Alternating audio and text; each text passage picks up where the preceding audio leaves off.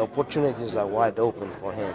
That's just the first step in the right direction. Bassem and Mohammed Maswade are father and son, but they're also boss and employee. Mohammed is a sophomore at Leon County Virtual School, and now he's dual enrolled for Lively Technical College's automotive program, so he can join his dad's business full-time when he graduates. That I'm able to help my dad and I'm able to, you know, make a, um, be able to do business with him and be able to be successful with him and something, I, you know, I can't ask for more.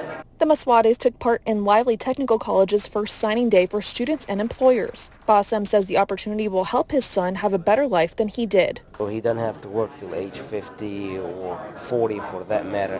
He's at the end of the game. If he keeps his head straight and keep his dreams and goals and continue education, then he should be set and, and have residual income and not work as hard as I did. Chelsea Williams, the K-12 Career and Technical Education Coordinator for Leon County Schools, says their dual enrollment programs can help trade industries fill open positions. A lot of them do um, apprenticeships with them, internships with them, and so this is a great um, talent pool for employers and people in our community to pull from for their pipeline. Leon County Schools pays for the dual enrollment program. Williams says getting the education for free is invaluable to students. We teach these young men and young women that these are skills that they can take and be lifelong learners, whether they use it in their career or not, but these are invaluable skills that they can always keep with them. Mohammed's advice to anyone considering dual enrollment is to take advantage of the golden opportunity. You know, be able to learn and keep it with you because, you know, vocational school and vocational skills, if they're kept with you, they can be very useful down life.